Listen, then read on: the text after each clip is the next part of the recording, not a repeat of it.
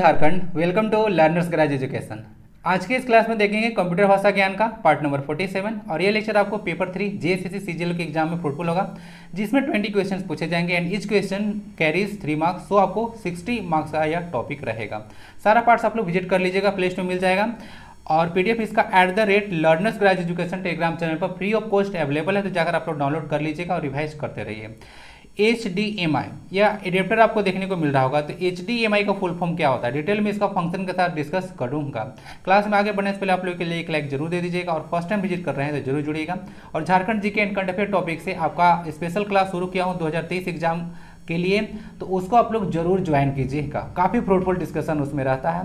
और उसको आप लोग को ध्यान से पढ़ना है, तीन, दो, तीन बार आप लोग रिवीजन कर लीजिएगा उसको वीक में। तो मुझे नहीं लगता है कि क्वेश्चन आपका छूटेगा, क्योंकि मैं बहुत ही डिटेल में उसको पढ़ा रहा हूँ तो उसको ज्वाइन ज़रूर कीजिएगा। तो आइए क्लास में स्टार्ट करते हैं। और एक क्वेश्चन का, एक स्टूडेंट का यहाँ पे क्वेश्चन था कि सारा टॉपिक वाइज पढ़ा दीजिए। देखिए, मैं यहाँ पे प्रीवियस ईयर क्वेश्चन उठाकर लाया हूँ। और सारा आपको मैं टॉपिक वाइज ही पढ़ाता हूँ, सब टॉपिक को टच करता हूँ। जैसे आज की क्लास में आपको डिस्कस करते चलूँगा कौन कौन सा क्वेश्चन से आपके किस किस टॉपिक से आ रहा है। आइए क्लास को स्टार्ट करते हैं। Let's clear of first question, a miniature, a miniature graphical representation of files, folders, programs और other items in a GUI based operating system. तो देखिए ये ऑपरेटिंग सिस्टम से क्वेश्चन है। तो आपका सिलेबस में क्या क्या मेंशन है? आपका सिलेबस में एम एस ऑफ़िस है जिसमें M S Word M S PowerPoint M S wind M S आपका एक्सेल ये सारा इंक्लूड रहता है। उसका बाद ऑपरेटिंग सिस्टम मेंशन है और इंटरनेट संचालन की विधि आपको मेंशन है। तो ये सब जो है से टॉपिक आपका मैं कहीं ना कहीं से ऐसे आपका कनेक्टेड है सिलेबस है तो मैं फालतू कोई चीज़ नहीं पढ़ा रहा हूँ। तो उसमें आप लोग इफ़ एंड वर्ड्स मत माइंड मत रखिए। जितना क्वेश्चन बता रहा हूँ, उतना आप लोग प्रैक्टिस कीजिए। तो क्वेश्चन चलिए ये क्वेश्चन को देखते हैं। अब miniature graphical representation of files folders programs और other items in a GUI based operating system तो बोला जा रहा है कि एक मिनिएचर जो है ग्राफिकल रिप्रेजेंटेशन होता है फ़ाइल का फोल्डर का। मिनिएचर ग्राफिकल रिप्रेजेंटेशन करने का मतलब इस तरह से कुछ आपको चीज़ देखने को मिलेगा। छोटा चीज़ में उसको दिखाते हैं किसको फ़ाइल को फोल्डर्स को प्रोग्राम को। तो उसको आखिर कहते क्या है? जैसे देखिए, ये आपको वीएलसी मीडिया प्लेयर दिख रहा होगा। तो इसको आप लोग इस तरह से इसको चीज़, इसको जैसे ही देखेंगे तो समझ जाएँगे कि जो है से एक वीएलसी मीडिया प्लेयर है। तो क्या ये प्लेयर यही है? जी नहीं, इसको आप लोग ओपन करना होगा। यही फ़ंक्शन नहीं कर रहा है। इसको आपको ओपन करना होगा। ये आपको दिख रहा हो गूगल क्रोम है। तो क्या यही है सब चीज़? ज़िंदगी नहीं, ये नहीं है। इसको आपको ओपन करना होगा। जस्ट ये इन्फॉर्मेशन है कि क्या है। यानी उसके बारे में जो है से आपको इन्फॉर्मेशन दे रहा है एज अ आइकन तो उसको आइकन बोलते हैं। तो उसका नाम आइकन है। ध्यान रखिएगा। ठीक है? तो ये ग्राफिकल यूज़र इंटरफेस होता है। जी यू इसका फुल फॉर्म आप लोग याद रखिएगा। ग्राफिकल यूज़र इंटरफेस होता है। आंसर इसका ये आइकन हो जाएगा। देखिए रिबन आप लोग देखिएगा। तीसरा की चीज़ आप लोग देखते होंगे। अगर एम एस वर्ड अगर ओपन किए होंगे तो यहाँ पे आपको फ़ाइल देखने फ़ाइल देखने को मिलेगा, उसके बाद होम यहाँ पे देखने को मिलेगा टैब इंसर्ट टैब तो अलग अलग टैब आपको देखने को मिलेगा। तो इसको ना रिबन कहा जाता है ओके आई होप कि कोई डाउट इसमें नहीं रहा होगा ओके ये सब जो आइकन दिख रहा है यहाँ पे आइकन नहीं बोल सकते हैं टैब ये सब दिख रहा होगा अलग अलग फ़ंक्शन करने के लिए होता है ओके ना? क्योंकि एक्सेस आपको प्रोवाइड कराता है कोई पार्टिकुलर फ़ंक्शन करने के लिए। What is the shortcut key for operating sorry opening a new document in M S Word तो एम एस वर्ड में अगर न्यू डॉक्यूमेंट आपको ओपन करना है शॉर्टकट की आपको एक से एक दो क्वेश्चन पूछे ही जाएँगे, ठीक ना? ध्यान रखिएगा। तो कंट्रोल प्लस इन होता है ना? न्यू डॉक्यूमेंट को खोलना है तो कंट्रोल प्लस इन होगा। आइए कुछ शॉर्टकट कीज देख लेते हैं एम एस वर्ड में। कंट्रोल प्लस ये होता है ऑल सेलेक्ट करने के लिए। कंट्रोल प्लस भी एक बोल्ड होता है ना? ध्यान रखिएगा बोल्ड साइज़ क्वेश्चन भी है। तीन तरह से एम एस वर्ड में आप लोग बोल्ड कर सकते हैं डिस्कस करेंगे आज। कंट्रोल प्लस ही बहुत ईजी है। कॉपी है। डी जो होता है डिफ़ॉल्ट फॉन्ट सेट करने के लिए होता है। कंट्रोल प्लस ही तो सेंट्रल अलाइनमेंट के लिए इंपॉर्टेंट है। कंट्रोल प्लस जो ई होता है, वह सेंटर अलाइनमेंट होता है। ठीक ना? आपको अलाइनमेंट का टाइप आप बताया था। कंट्रोल प्लस ए फाइंड करने के लिए होता है। Control plus G go to होता है। कंट्रोल प्लस एच रिप्लेस करने के लिए होता है। कंट्रोल प्लस एच रिप्लेस उसके बाद कंट्रोल प्लस आई इटैलिक करने के लिए। आप लोग देखते हैं ना, इस तरह से लिख दिया आप लोग। इटैलिक इस तरह से इटैलिक ऐसा लिखा जाता है। E T A L I सी मैंने थोड़ा सा टिल्ट करके इसको लिखा जाता है। तो आपका इटैलिक हो जाएगा। कंट्रोल प्लस जे जस्टिफाई करने के लिए होता है, ये भी एक टाइप ऑफ़ अलाइनमेंट है। Control plus K hyperlink एक क्वेश्चन इंपॉर्टेंट बताया कि हाइपर लिंक करने के लिए किस शॉर्टकट की का प्रयोग किया जाता है। तो कंट्रोल प्लस या हाइपर हाइपर लिंक में आपको टेस्ट भी हो सकता है, कोई इमेज भी हो सकता है। ठीक है, ध्यान रखिएगा। उसके कंट्रोल प्लस एन होता है लेफ़्ट अलाइनमेंट के लिए होता है कंट्रोल प्लस आर जो होता है राइट अलाइनमेंट के लिए होता है। ठीक है? उसके कंट्रोल प्लस एम होता है हैंगिंग इंडेंट को। इंडेंट को बढ़ाने के लिए, जैसे कि अगर लोग पेज देखते हैं तो इंडेंट साइड वाला बोलते हैं। तो इसको अगर बढ़ाना इंक्रीज करना है तो आप आपको कंट्रोल प्लस एम दबाइएगा। कंट्रोल प्लस एन जो कि आंसर था न्यू डॉक्यूमेंट को ओपन करने की यूज़ किया जाता है। और कंट्रोल प्लस ओ जो है ओपन करना है किसी चीज़ को। कंट्रोल प्लस पी जो है प्रिंट करने के लिए यूज़ होता है। ध्यान दीजिएगा कंट्रोल प्लस पी जो होता है प्रिंट करने के लिए यूज़ किया जाता है। कंट्रोल प्लस आपको क्यों देखने को मिलेगा? एड स्पेस आफ्टर पैराग्राफ उसके बाद कंट्रोल प्लस आर बता दिया था। कंट्रोल प्लस ये सेवेज का ऑप्शन होता है। सेव और सेव एज में जो है से आपको अंतर होता है, ठीक ना? ओके, सेव एज मतलब जब फ़ाइल का आप लोग ना रिनेम करके सेव करना हो, तब उसको बोलते हैं सेव एज उसके बाद कंट्रोल प्लस टी जो होता है लेफ़्ट इंडेंट को बढ़ाने के लिए यूज़ किया जाता है। उसके बाद यू होता है अंडरलाइन के लिए। उसके बाद कंट्रोल प्लस भी पेस्ट होता है ना। अब कंट्रोल प्लस डब्ल्यू क्लोज करने के लिए कंट्रोल प्लस एक्स कट करने के लिए control plus Y is replace या रीडू करने के लिए सॉरी रिपीट या रीडू करने के लिए। ध्यान दीजिएगा कंट्रोल प्लस जेड अंडू होता है तो अंडू को फिर से जो करना है, यथावत। तो उसको आप लोग जो है कंट्रोल प्लस वाई दबा दीजिए तो वह रीडू हो जाएगा। अंडू को Dash is the core of the operating system. It provides basic services to all other parts of the operating system. बोला जा रहा है, कौन जो है कोर होता है ऑपरेटिंग सिस्टम का? तो वह होता है कर्नल तो कर्नल जो होता है कोर या हॉट बोला जाता है ऑपरेटिंग सिस्टम का। दुनिया का देखिए, कोई भी ऑपरेटिंग सिस्टम होगा, वह इसका नाम ही सिस्टम है, यानी कि सिस्टम सॉफ्टवेयर है। इसमें इफ़ बर्ड्स मत रखिएगा, छाटने के लिए आता है कौन जो है एप्लीकेशन सॉफ्टवेयर है और कौन जो है एक सिस्टम सॉफ्टवेयर है। तो देख लीजिएगा तो क्लियर हो गया। एक होता है सेल जो कि ऑप्शन में है तो यह इंटरफेस प्रोवाइड कराता है यूज़र और कर्नल के बीच में। उसी को सेल कहा जाता है। और नर्व सेंटर जो होता है कंप्यूटर का कंट्रोल यूनिट को बोला जाता है सीयू को। और सीयू आपको पता होगा सीयू के साथ एमयू और एएलयू तीनों के तीनों जो है से आपका सीपीयू का पार्ट है। और ब्रेन ऑफ़ कंप्यूटर तो पता होगा सीपीयू कहा जाता है। और कर्नल जो होता है, पाँच तरह का होता है। तो आंसर तो इसका डी हो गया। बाकी ऑपरेटिंग सिस्टम को देखिएगा। यूज़र, जो यूज़र होता है और हार्डवेयर के बीच में एक इंटरफेस प्रोवाइड कराता है, इसको ध्यान रखेगा। यानी कि जितना भी आप लोग काम कर रहे हैं तो वो सर्विस कंप्यूटर के साथ हार्डवेयर के साथ इंटेट कर रहे हैं तो सर्विस जो दे रहा है, वो ऑपरेटिंग सिस्टम ही है। ध्यान दीजिएगा ऑपरेटिंग सिस्टम के बिना कुछ नहीं चलेगा सिस्टम भी जो है बूट नहीं होगा ऑन तक नहीं होगा ऑप्टिंग सिस्टम ठीक है? तो कंप्यूटर खराब हो जाता है तो उसमें ऑपरेटिंग सिस्टम जैसे डलवाना पड़ता है, ठीक है? उसको देख लीजिएगा, वो खराब हो गया, सारा कहानी खत्म। या तो ध्यान दीजिएगा, जितना भी सिस्टम सॉफ्टवेयर है, जितना भी सिस्टम सॉफ्टवेयर है, वो बिना सॉरी जितना भी एप्लीकेशन सॉफ्टवेयर है, वो ऑपरेटिंग सिस्टम के बिना नहीं चलेगा। इसको देख लीजिएगा। What is as what is as assistive technology यहाँ पे गड़बड़ हो गया एन होना चाहिए था। What is an assistive technology और सर्विस इन बाइंग और selling a product on the internet called point of sale उसके बाद ई बैंकिंग है ई कॉमर्स है, फिर क्लाउड सर्विस है। तो आंसर इसका ई कॉमर्स हो जाएगा, ठीक है ना?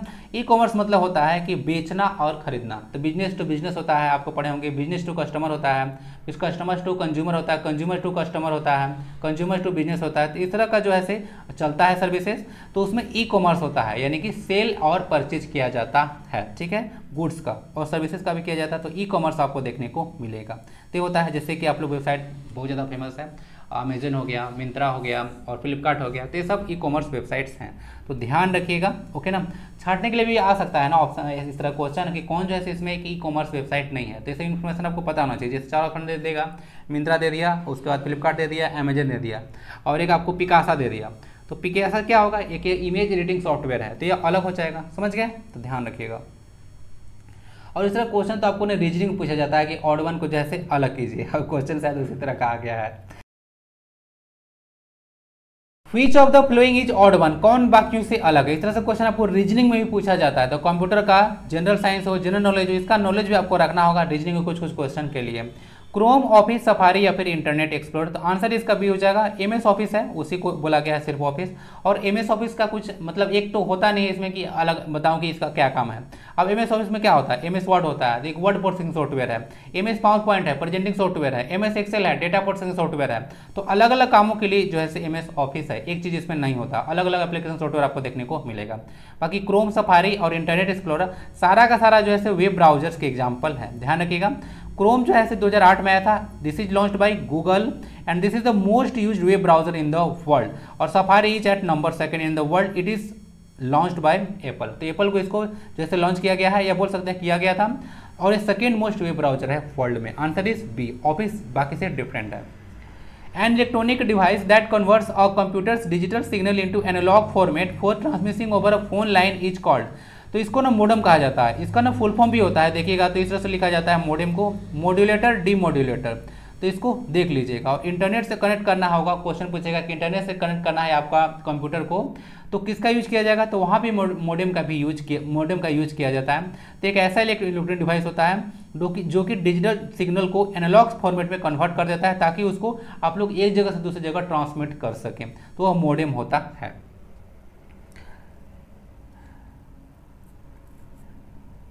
जो नेटवर्क इंटरफेस कार्ड जो होता है यह जो होता है कंप्यूटर को कंप्यूटर से कनेक्ट करने के लिए यूज़ किया जाता है ना? कंप्यूटर को कंप्यूटर से कनेक्ट करने के लिए नेटवर्क इंटरफेस कार्ड यूज़ किया जाता है। आंसर इसका मोडेम है। फुल फॉर्म देख लीजिएगा।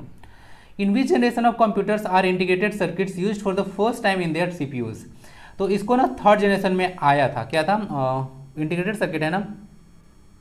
या थर्ड जनरेशन में आया होगा। पहला जनरेशन में आप लोग देखिएगा तो क्या था? वैक्यूम ट्यूब था फ़र्स्ट जनरेशन में।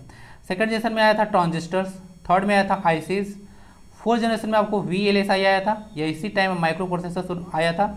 और टाइम पीरियड या देखिएगा नाइनटीन सेवेंटीज या नाइनटीन सेवेंटी वन रहेगा तो नाइनटीन सेवेंटी के दशक में। और उसके बाद तो चलता है यू एल एस यानी कि अल्ट्रा लार्ज स्केल इंटीग्रेशन तो इसको ध्यान रखिएगा। तो फ़र्स्ट वाला इंपॉर्टेंट रहता है, वैक्यूम ट्यूब इसमें यूज़ किया गया था। और अभी जो है यू एल एस यूज़ किया जाता है, अल्ट्रा लार्ज स्केल इंटीग्रेशन। और अब तो काफ़ी ज़्यादा आर्टिफिशियल इंटेलिजेंस पे काम कर किया जाता है। तो फ़र्स्ट जनरेशन में वैक्यूम ट्यूब था सेकेंड में ट्रांजिस्टर थर्ड में आईसी यानी कि इंटीग्रेटेड सर्किट और फोर्थ में आपको व्हील एस आई और V L S I microprocessor भी बोलेगा तो लगा लीजिए का, उसी टाइम जो है से शुरू किया गया था, और यू एल एस आई तो हो ही गया ultra large ultra large scale integration जो फ़र्स्ट जनरेशन ऑफ़ कंप्यूटर था, उसका टाइम पीरियड देख लीजिएगा नाइनटीन से स्टार्ट हुआ था. आंसर इसका थ्री है. क्वेश्चन इस पर आपको पूछा ही जाता है. इजी क्वेश्चन है, लेकिन पूछा ही जाता है. Which of the following is not a part of CPU इनमें से सीपीयू का कौन एक पार्ट नहीं है? एलयू कंट्रोल यूनिट फिर मेमोरी यूनिट या फिर माउस तो माउस इसका एक पार्ट नहीं है। तो शायद मुझे लगता है आज की क्लास में डिस्कस मैं कर दिया हूँ, कर दिया हूँगा कि जो है सी पी का तीन पार्ट होता है। Arithmetical arithmetic logic unit control unit और मेमोरी यूनिट यानी कि एम यू ठीक है, इसको ध्यान रखिएगा। तो ये सीपीयू का पार्ट है ब्रेन ऑफ़ कंप्यूटर होता है, बहुत ईजी क्वेश्चन बनता है इसमें। और साथ ही साथ इसका आपको देखने को मिलेगा, एक होता है कैश मेमोरी तो कैश मेमोरी एक हिडन मेमोरी होता है और एक कैश मेमोरी क्या करता है कि जब कंप्यूटर काम करता है तो उसमें डेटा को जो है लेने काम करता है। ओके, अब बाकी रजिस्टर मेमोरी जो है बहुत फास्ट जो है एक मेमोरी है। बहुत फास्ट का ये सबसे फास्ट मेमोरी होता है कंप्यूटर का, ठीक है? ये सब रैम का ही पार्ट है cache memory register memory answer इसका डी माउस हो गया। माउस जो है एक पॉइंटिंग डिवाइस है, ठीक है ना? डगलस इंजेलबर्ट के द्वारा जो है माउस को जो है इन्वेंट किया गया था। डगलस इंजेलबर्ट याद रखिएगा। और कीबोर्ड का क्रिस्टोफर लाथम सोल्स और फादर ऑफ़ टाइपराइटर भी क्रिस्टोफर लाथम सोल्स ही कहे जाते हैं। Which the following is not a hardware इनमें से कौन एक हार्डवेयर नहीं है? माउस मोनीटर हार्ड डिस्क या फिर डीबीएमएस तो डीबीएमएस क्या होता है? तो डेटाबेस मैनेजमेंट सिस्टम एक तरह का एक सॉफ्टवेयर के जैसा एक काम करता है। तो डीबीएमएस जो है से एक तरह का हार्डवेयर यह नहीं है। तो माउस मोनीटर आपको और हार्डवेयर जो है से सॉफ्टवेयर सॉरी हार्डवेयर है, इसको आप लोग टच कर सकते हैं, लेकिन डीबीएमएस को जैसे टच नहीं कर सकते हैं। डेटाबेस मैनेजमेंट सिस्टम है, ये सारा जो है डेटा को बोल रहा है कि मैनेज करने करेंगे हम। बोल रहा है ना? डेटाबेस मैनेजमेंट सिस्टम तो डेटाबेस को मैनेज करने का काम करता बाकी सब हार्डवेयर आपको टच कर सकते हैं, ठीक है ना? फ़िज़िकल आप बोल सकते हैं फ़िज़िकल फॉर्म में आपको अवेलेबल होता है। अब लेकिन सॉफ्टवेयर जो होता है, वो हार्डवेयर नहीं होता है, यानी कि उसको फ़िज़िकल फॉर्म में अवेलेबल नहीं होता टच नहीं कर सकते हैं ना। फॉर एग्ज़ाम्पल ये वीडियो है। तो वीडियो जो आपके पास है या फिर जो पीपीटी आपके जो है अभी फ़िलहाल तो उसको क्या आप टच कर सकते हैं? जी नहीं तो पीडीएफ को आप लोग टच नहीं कर सकते तो ये भी एक सॉफ्टवेयर ही आ, आ जाएगा। और हार्डवेयर कब आ जाएगा? जब इसका आपको हार्ड कॉपी होगा यानी कि प्रिंट करवा लेंगे तब। Which the following is not related to the computer computer से कौन रिलेटेड नहीं है। सॉरी कंप्यूटर कीबोर्ड से कौन रिलेटेड नहीं है। क्वेटिव फ़ंक्शन की न्यूमरिक कीपैड है फिर मास्टर की देखिए, मास्टर की जैसा कुछ आपको जो है कीबोर्ड पे आपको देखने को नहीं मिलेगा, लेकिन क्वेटिव टाइप का कीबोर्ड आता है। ओके ना? आप लोग टाइप किए होंगे तो पता होगा। फ़ंक्शन की जाता है जो कि बारह होता है। न्यूमरिक कीपैड आता है जिसमें नंबर आप लोग देखने को मिलेगा। ओके ना? तो सब चीज़ अवेलेबल होता है, लेकिन मास्टर की जैसा कोई ऐसा की आपको देखने को नहीं मिलेगा कीबोर्ड तो बाकी से यह अलग है रिलेटेड नहीं है कंप्यूटर कीबोर्ड से। और कंप्यूटर नॉर्मली देखिएगा तो एक से छः एक से एक सौ आठ तक ऐसे कीबोर्ड होता है। सॉरी कीज होता है, जिसमें फ़ंक्शन की संख्या बारह होती है। ओके। और जैसे कि बताया था कीबोर्ड के आविष्कार कौन किए थे? Christopher Latham Sholes. डेटा को इनपुट करने के लिए यूज़ किया जाता है। कीबोर्ड, माउस दोनों इनपुट डिवाइसेस हैं। Which of the following words और एक्सप्रेशन और acronym is acronyms is not related to computer printer तो कंप्यूटर प्रिंटर प्रिंटर से कौन रिलेटेड नहीं है? कोई टर्म हो एक्रोनेम्स हो एक्सप्रेशन हो। टोनर कार्टिलेज स्पूलर या फिर फ्लैट पैनल तो आंसर इसका जो हो जाएगा वो हो जाएगा फ्लैट पैनल। तो फ्लैट पैनल जो है, से रिलेटेड नहीं है कंप्यूटर प्रिंटर से। ये जो देखिएगा प्रिंटर का जो पार्ट है, उसमें टोनर उसके बाद कैटरीज है स्पूलर है एज गाइड्स है सीट फीडर है, और आउटपुट ट्रे है, उसके बाद कनेक्टर्स है। ओके ना तो सब कुछ कुछ पार्ट होता है, ध्यान रखिएगा प्रिंटर का। और ये जो स्पूलर होता है, ध्यान रखिएगा, जब कोई आपको कोई चीज़ आपको प्रिंट करना है ना तो प्रिंट करने में जो हेल्प प्रोवाइड कराता है उस टाइम को जो है से आ, मतलब एक मेमोरी में रखता है कि आप कोई चीज़ अब प्रिंट करने जा रहे हैं। प्रिंट करने से पहले तक मेमोरी में रखता है कि इसको प्रिंट करना है। तो उसको मेमोरी में रखने का काम स्पूलर का होता है। ठीक है बाकी टोनर को देख लीजिएगा टोनर। टोनर जो होता है जैसे इंक को मिक्स करता है और कैटरेज को देखिएगा कहीं कहीं ना इंक जेट या फिर हाँ इंक जेट कैटरेज भी बोला जाता है। ओके एक्सप्लोर बता ही दिया। उसका सीट फीडर में आप लोग देखोगे पेपर रखते हैं और प्रिंटर में तो पता होगा आउटपुट ट्रे ट्रे में आप लोग ले जाकर किसी को चाय देते हैं ना? तो ट्रे में वही जो प्रिंट होने के बाद जो गिरता है ना, उसी को ट्रे बोला जाता है। तो आंसर इसका डी हो गया फ्लैट पैनल इसका पार्ट नहीं है। और प्रिंटर अगेन प्रिंटर प्लोटर सारा जो है एक आउटपुट डिवाइस है। The resolution of a computer monitor is measured by तो जो रिजोल्यूशन होता है कंप्यूटर मॉनिटर का उसको किसमें हम लोग मेजर करते हैं तो उसको हम लोग नंबर ऑफ़ पिक्सल्स में मेजर करते हैं। ध्यान रखिएगा। आइए कुछ देख लीजिएगा इन्फॉर्मेशन रिजोल्यूशन होता है, वह क्या होता है कि कैपेसिटी होता है सेंसर का, जो कि बताता है या ऑब्ज़र्व करता है कि कितना किसी एक ऑब्जेक्ट को स्मॉल ऑब्जेक्ट को कितना आप लोग क्लियरली देख पा रहे हैं। ध्यान रखिएगा, वही होता है पिक्सल ठीक है? पिक्सल जिसका जितना ही ज़्यादा होगा, समझ लीजिएगा इसका रेजोल्यूशन उतना ही कम होगा, क्योंकि रेजोल्यूशन होता है inversely proportional to pixel okay ध्यान रखिएगा। और पिक्सल होता है smallest unit of image image का स्मॉलेस्ट यूनिट होता है इमेज होता है। और पिक्सल से क्वेश्चन एक बना था, आपको याद होगा, जब बताया था कि जब इमेज को आप लोग बहुत बड़ा मिलियन टाइम्स बोल दीजिए या फिर थाउज़ेंड या लाख टाइम बोल दीजिए, देखिएगा तो उसमें पूरा लाइन जैसा आपको ना ऐसे ऐसे डॉट्स दिखेगा। तो उसको क्या बोलते हैं डॉट्स को? तो उस डॉट को पिक्सेल ही कहा जाता है। यानी कि बोल सकते हैं कि जिस तरह से हम लोग का smallest unit of life cell है, उस तरह से जो है पिक्सल जो होता है, किसी एक इमेज का स्मॉलेस्ट यूनिट होता है। ठीक है आंसर इसका नंबर ऑफ़ पिक्सल्स हो जाएगा। और रिजोल्यूशन को मेजर किया जाता है पिक्सल में ध्यान रखिएगा। और जिसका पिक्सल जितना ही ज़्यादा होगा, उसका रिजोल्यूशन उतना ही कम होता है। वही क्वेश्चन आ गया, जो कि क्वेश्चन आपको शुरुआत में पूछा गया था। क्वेश्चन है which of the following ports can be use to output and audio signal तो आउटपुट एंड ऑडियो सिग्नल इसका आंसर हो जाएगा H D M I H D M I होता है आपको हाई डेफिनेशन मल्टीमीडिया इंटरफेस इसका use कहाँ पे करते हैं? तो कोई एक ऑडियो है, क्या कोई वीडियो है? तो ऑडियो और वीडियो को आप लोग जो है टीवी पर, जो है वो किसी मोनिटर पर, किसी प्रोजेक्टर पर चलाने के लिए जो है यूज़ किया जाता है। तो यही एक अडेप्टर यूज़ किया जाता है। ध्यान रखिएगा, ये अडेप्टर क्या करेगा? तो यह लिखा हुआ है transmit audio and video data to devices such a TV TV में आप लगा सकते हैं प्रोजेक्टर में लगा सकते हैं और मोनिटर में लगा सकते हैं और उसको देख सकते हैं कि किस तरह का ऑडियो या वीडियो फ़ाइल है। फुल फॉर्म इंपॉर्टेंट रहेगा H D M I high definition multimedia interface ठीक है? समझ गए? तो आंसर इसका हो जाएगा C on and developed Mac OS तो मैक ओएस को बोला जा रहा है कि कौन ऐसे डेवलप किया था? तो ये एप्पल का है ना मैक ओएस ये मैक ओएस एक ऑपरेटिंग सिस्टम है, इसको देख लीजिएगा, जो कि एप्पल मोबाइल फोन्स के लिए है। तो आंसर इसका हो जाएगा एप्पल ना? तो ये मैक ओएस को मतलब डेस्कटॉप के लिए है, आपको देखने को मिलेगा। ठीक है? फ़ोन के लिए नहीं। तो एप्पल इसका आंसर हो जाएगा। माइक्रोसॉफ्ट का आपको पता होगा ऑपरेटिंग सिस्टम है वो विंडोज़ है। और सबसे ज़्यादा मार्केट में आपको विंडोज़ ही देखने को मिलेगा ना। लेटेस्ट वर्जन जो है विंडो का विंडोज़ 11 है जो कि अक्टूबर 2021 में लॉन्च किया गया था ना। लेटेस्ट इंपॉर्टेंट रहेगा। माइक्रोसॉफ्ट तो एकदम इंपॉर्टेंट है आपको। पॉल एलेन और बिल गेट्स पॉल एलेन को कोई याद ही नहीं रखता है नहीं? पॉल एलेन और बिल गेट्स दोनों पर्सनालिटी थे, थे जो कि माइक्रोसॉफ्ट को फाउंड किए थे। ठीक है 1975 में।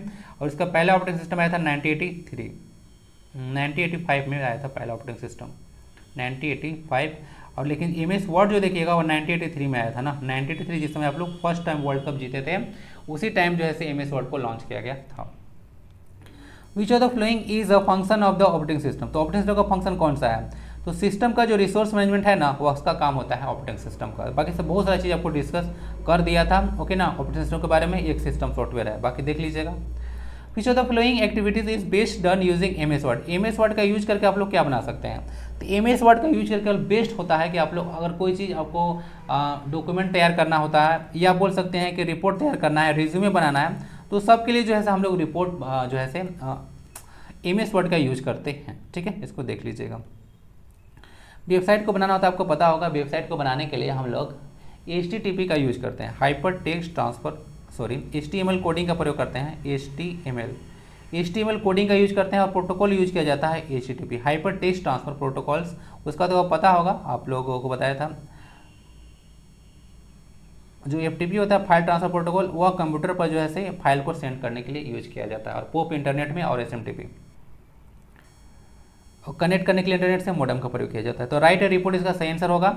रिपोर्ट बुक करना है ठीक है? कोई डॉक्यूमेंट तैयार करना है रिज्यूमे बनाना है। ऐसे भी क्वेश्चन पूछेगा तो एम एस वर्ड लगाइएगा। एम एस वर्ड दो हज़ार सोलह के बारे में बात किया जा रहा है। The button to make the selected test bold can be found in the dash tab तो आपको ना होम टैब में देखने को मिलेगा। तो होम टैब का प्रयोग करके जो है से आप लोग इसको यूज़ कर, कर सकते हैं और किसी किसी जो है वर्ड को बोल्ड जैसे यहाँ पे दिखा, लिखा हुआ है कि word you can make your test bold in three ways M S Word में जो है तो तीन तरह से लेटर को बोल्ड किया जा सकता है। जैसे देखिए use the bold button on the mini tool bar तो मिनी टूल बार में बोल्ड बटन का डायरेक्ट यूज़ कर सकते हैं। बोल्ड बटन होम टैब जो कि आंसर था आपका। होम टैब में आपको बोल्ड बटन का यूज़ कर सकते हैं, या फिर शॉर्टकट की यूज़ कर सकते हैं। शॉर्टकट कीबोर्ड शॉर्टकट यूज़ कर सकते हैं, जो कि क्या होता है? कंट्रोल प्लस बी पता नहीं वर्ड फंस रहा है। क्वेश्चन एटीन है चूज़ द ऑड वन इसमें से आपको ऑड वन चूज़ करना है रोम हार्ड डिस्क मेमोरी तो आंसर इसका जो होगा, वह ये होगा। फॉर्मूला जो है से एक तरह का सॉफ्टवेयर आपको देखने को मिलेगा। जिस तरह से बेसिक इनपुट आउटपुट सिस्टम होता है, उसी तरह से ये भी फॉर्मूला है। लेकिन रोम हार्ड डिस्क और मेन मेमोरी है, सब जो सब जो है से मेमोरी के एग्ज़ाम्पल हैं। तो यह आंसर फॉर्मवेयर हो जाएगा। That's it for this class class में 18 क्वेश्चन था। टोटल क्वेश्चन वहाँ पे था 30 था। ठीक ना? लेकिन 30 क्वेश्चन में देख रहा था कि सारा क्वेश्चन आपको ऑलरेडी मैं कवर कर चुका हूँ तो उसमें टाइम पास करने का कोई मतलब नहीं बनता है। तो जो इंपॉर्टेंट क्वेश्चन था, उसी को उठाएगा तीस में से मात्र अठारह क्वेश्चन था, जो आप लोग के काम का था। बाकी क्वेश्चन आप लोग को पता होगा, अगर सारे लेक्चर देखे होंगे तो। ठीक है? मिलते हैं फिर नेक्स्ट क्लास में। वीडियो को लाइक ज़रूर दीजिएगा। कोई भी दिक्कत आएगा तो कॉन्टॉक्ट में ज़रूर बताइएगा। और शाम को एक और लेक्चर आपको मिलने वाला है, जो कि होगा जेसीसी का स्टेनोग्राफर और एक्साइज का इंग्लिश ठीक है? तो वो आपके लिए आप लोग वेट कर सकते हैं। बाकी आपका क्वेश्चन का आंसर कुछ कुछ होगा तो आपका दे दिया जाएगा। मिलते हैं फिर नेक्स्ट क्लास में। वंदे भारतम। जय हिंद।